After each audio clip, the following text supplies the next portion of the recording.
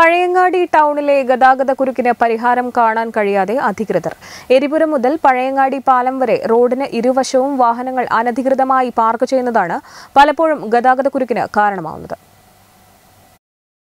Pilathara Pappinisseri K S T P റോഡിൽ വാഹനത്തിരക്കും എരിപുരം കവല മുതൽ പഴയങ്ങാടി പാലം വരെ റോഡിന് ഇരുവശങ്ങളിലും അനധികൃതമായി വാഹനങ്ങൾ പാർക്ക് ചെയ്യുന്നതും കാരണം പഴയങ്ങാടി ടൗണിൽ ഗതാഗത കുരുക്ക് രൂക്ഷമാവുകയാണ്.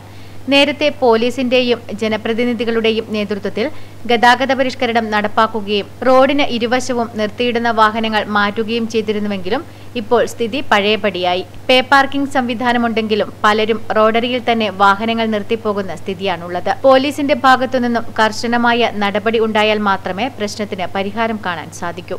പാർക്കിംഗ് സൗകര്യമില്ലാത്തതുകൊണ്ട് ജനങ്ങൾ ബുദ്ധിമുട്ടുന്നു ആ പാർക്കിംഗ് സൗകര്യം അടിയന്തരമായിട്ട് പരിഹരിക്കണം അധികം ഇടപെടണം.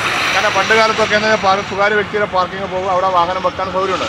അന്ന് പോലീസുകാർ കൃത്യമായിട്ട് ഇടപെടുകയും ചെയ്ത് കൃത്യമായിട്ട് വാഹനം മാറ്റും. ഇന്ന് പഴയങ്ങാടി ബസ് സ്റ്റാൻഡ് റോഡിന്റെ ചുറ്റും അപ്പുറം ഇപ്പുറം ആളുകൾ മാർഗം പകുതിയുകൊണ്ട് തന്നെ മറ്റു വാഹനങ്ങൾ പോകാൻ പറ്റുന്നില്ല. Network news Pazhayangadi.